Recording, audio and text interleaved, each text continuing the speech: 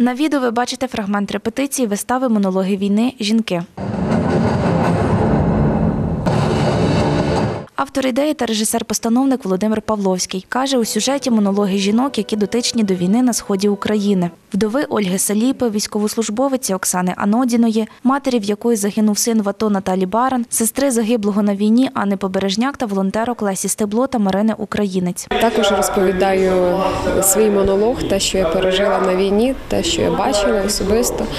І це не просто пережиті якісь моменти, які закарбувалися в моїй пам'яті, а я хочу цим спогадом донести до народу, який вже ось так трошки черствіє з екранів телебачення. Вони бачать війну, і це вже ніби як просто для них якийсь фільм а не те, що відбувається реально в їхній державі, в нашій батьківщині.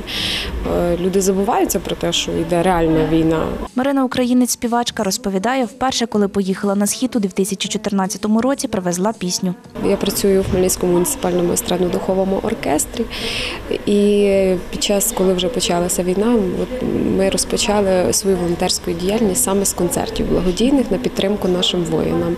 А коли ми вже вперше туди поїхали, то це, звісно, були не тільки пісні, а ще й матеріальна допомога. Це і сітки, і багато-багато смаколиків, які з душою передали наші жінки, чоловіки і просто небайдужі люди. Монологи жінок транслюватимуть на суспільному мовнику 20 лютого. Режисерка по роботі з жінками Наталя Поляниці розповіла, аби скласти спільно текст монологу на 8 хвилин, доводилося годинами спілкуватись. Наталя Поляниця додає основне завдання тих, хто працює над виставою, нагадати, що в країні війна. інтерес до цієї теми знизився.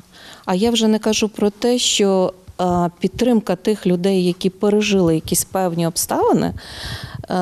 Також е, ну значно нижча, значно.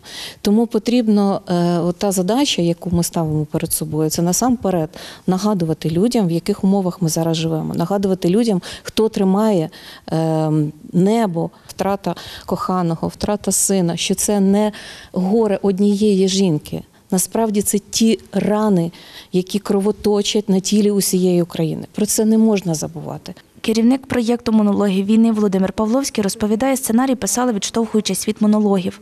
Не так, як сценарій написали і втілюють його в кіно. Е, Це народжується з жінок. Вони народжують сценарій. А що таке сценарій? Це вже ми від цих монологів придумуємо якісь режисерські рішення.